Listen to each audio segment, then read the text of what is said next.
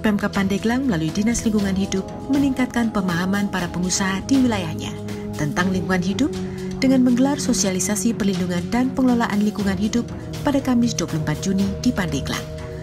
Pada kesempatan tersebut, Kepala Dinas Lingkungan Hidup Kabupaten Pandeglang, Tati Suwagiharti mengatakan, sosialisasi tersebut menitik beratkan pemahaman para pengusaha akan Undang-Undang Nomor 11 Tahun 2020 tentang Cipta Kerja serta peraturan pemerintah PP Nomor 22 tentang lingkungan hidup sebagai turunannya.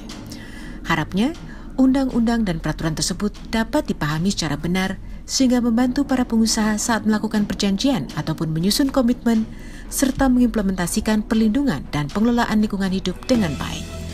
Misalnya dengan tidak membuang limbah ke sungai, tidak mencemari air, udara, dan tanah yang dapat merugikan masyarakat sekitar. Mempelajari lebih detail lagi undang-undang baru, undang-undang nomor 11 tahun 2020 tentang cipta kerja dan PP, PP turunannya, yaitu PP 5, PP 22 tentang lingkungan hidup, PP 5 tentang izin berusaha berbasis risiko dan PP 30 tentang ada lagi.